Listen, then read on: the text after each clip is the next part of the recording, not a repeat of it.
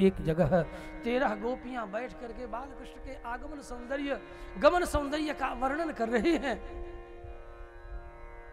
ये तेरह गोपियाँ कोई और नहीं है, ये कोई सामान्य गोपी नहीं, ये तुम्हारी ही ज्ञान कर्म इंद्रियाँ हैं। पाँच ज्ञान इंद्रियाँ और पाँच कर्म इंद्रियाँ, यही गोपी है। गोपी का तात्पर्य यही है, गोभी ही इंद्रिय भक्ति रसम, सेवा रसम, प्रेम रसम, पिबती। यासा गोपी, यह सह गोप जो अपने ज्ञान कर्म इंद्रियों से भक्ति अर्थात सेवा रस, प्रेम रस का पान करे, जब उसके बिना, उसके लिए कुछ किए बिना रह न सको तो समझ लेना तेरे ज्ञान कर्म तेरी ज्ञान कर्म इंद्रियों अब भक्ति रस में धीरे धीरे डूब रही है।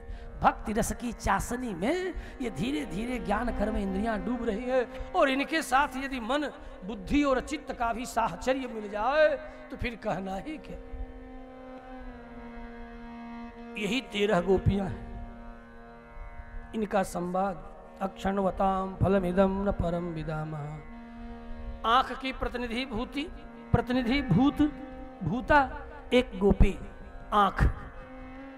कह रही है ये अरी सखी, अब जरा हम माधुर्य की ओर चलते हैं। हाँ? अरी सखी तो गोपियों का, गोपी का हृदय प्राप्त किए बिना, अर्थात अथवा स्त्री का हृदय प्राप्त किए बिना, प्रेमी का हृदय प्राप्त किए बिना भागवत की कथा कहीं नहीं जा सकती।